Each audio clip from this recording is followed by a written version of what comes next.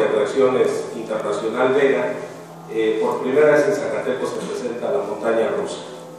Es decir, jamás en Zacatecas se había presentado la montaña rusa como un juego mecánico que puedan disfrutar los niños, jóvenes, adultos, etcétera, mayores, y hoy se está haciendo el montaje de esta montaña rusa. El año pasado, por la premura, realmente hubo muchas, muchos contratiempos y complicaciones, este año se logró afortunadamente hacer la instalación de este atractivo, muy atractivo juego mecánico de atracción.